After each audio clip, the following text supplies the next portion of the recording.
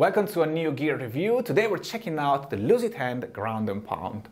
The Ground and Pound is a distortion pedal inspired by the sound of 90s and early 2000 rock and metal bass players, particularly Justin Chancellor of Tool.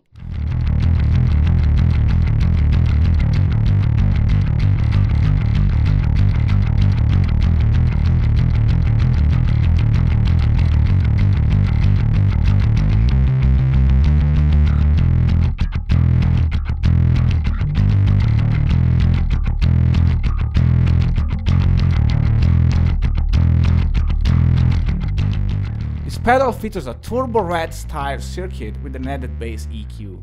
It has four knobs. Mix controls the balance between the clean and distorted signals.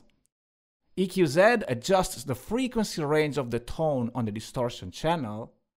Volume controls the overall output volume of the pedal. And distortion to adjust the level of distortion.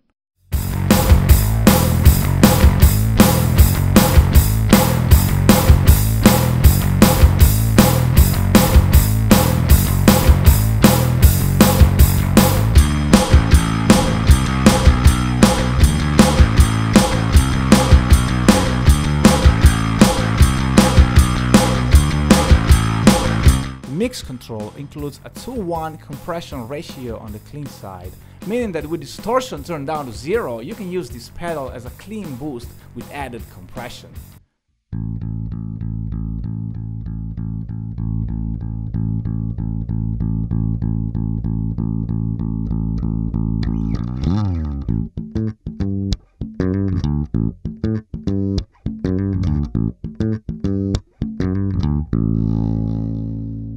Is also a ground pound switch that lets you choose between ground for a more modern, deeper sound.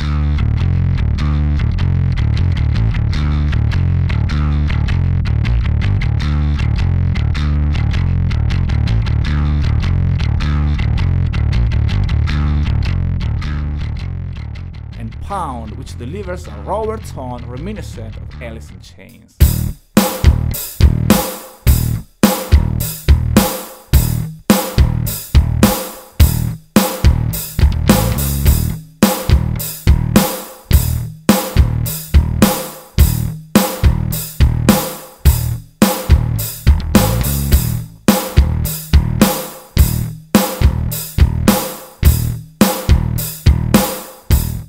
There's also an L-pad switch that allows to lower the input signal if you're using a very loud active bass, for example.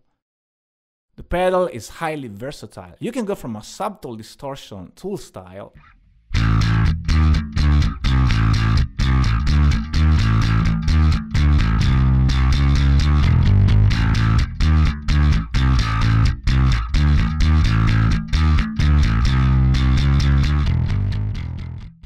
to full on fuzzy tone perfect for solos or extra greedy bass lines.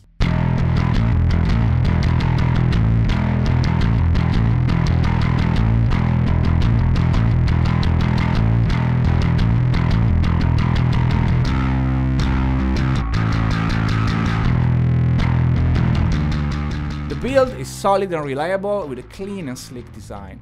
You can use the ground and pound to shape your chord tone or as an additional pedal for solos or unique sounds. Either way, it performs exceptionally well. Check out the link in the description if you're interested in the ground and pound and thanks for watching.